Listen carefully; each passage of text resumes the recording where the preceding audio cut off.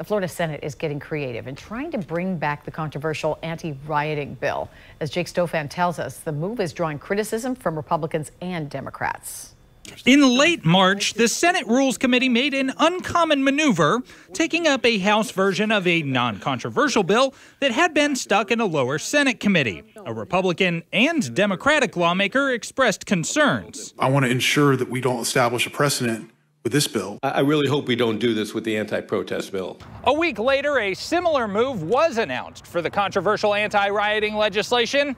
It's now going to be heard by only one Senate committee before reaching the chamber floor. The Senate president defended his decision to reporters. About half the Senate is on the budget chair in the budget committee, so I just think that's the appropriate place to send it to so that it can be fairly vetted before it comes to the floor. But Patricia Brigham with the League of Women Voters says sidestepping the process on a bill that could have First Amendment implications is dangerous. It absolutely does deserve full vetting. And when it eventually goes to court, which I'm sure it will if it's passed, I think that's one of the things that should be pointed out. This bill was not fully vetted by our legislative process.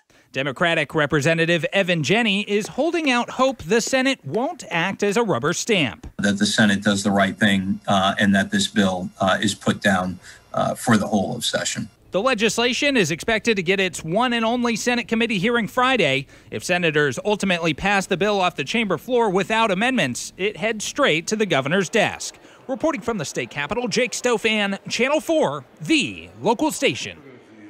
And we reached out to the Senate sponsor of the Combating Public Disorder Act for comment on this story, but did not hear back.